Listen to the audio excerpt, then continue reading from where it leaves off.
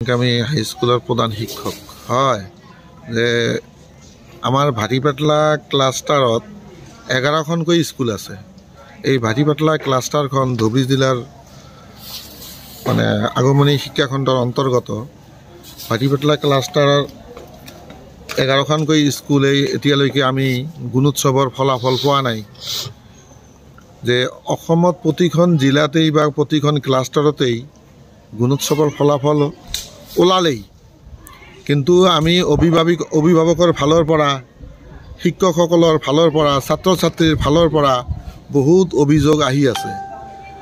যে কি অভিযোগ? যে আমাৰ গুণোৎসৱৰ ফলাফলৰ গ্ৰেড কি ওলাল?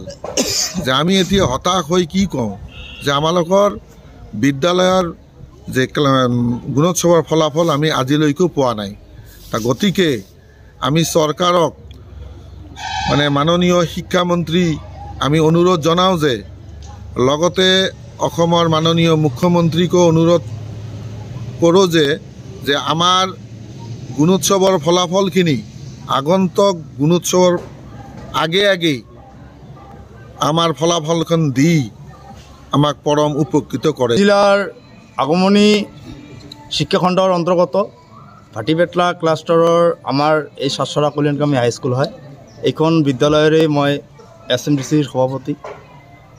হয় যে আমাৰ যোৱা দুই হাজাৰ একৈছ চনৰ অসম চৰকাৰে পতা শিক্ষা বিভাগৰ গুণোৎসৱৰ আমাৰ হৈ গৈছে এই বিদ্যালয়তো হৈ গৈছে। কিন্তু দেখা গৈছে যে দুই হাজাৰ একৈছ চনৰ যিটো গুণোৎসৱ হৈছে সেই গুণোৎসৱৰ ফলাফল আমি আগমনী শিক্ষাখণ্ডৰ অন্তৰ্গত এই কল্যাণী হাইস্কুলৰ আমি পোৱা নাই। মই জনামতে ভাটিপাটলা ক্লাষ্টাৰ আৰু পলাশকান্দি ক্লাষ্টাৰৰ দুয়োখন ক্লাষ্টাৰে বিছখন স্কুল আজি পৰ্যন্ত দুই হাজাৰ একৈছ চনৰ গুণোৎসৱৰ এভুলেশ্যন ৰেজাল্টটো হোৱা নাই বা দিয়া নাই। ইয়াত কাৰ গাফিলতি হৈছে? বিভাগীয় কৰ্তৃপক্ষৰ আহ, ক'ত কি টেকনিকেলি গাফিলতি হৈছে?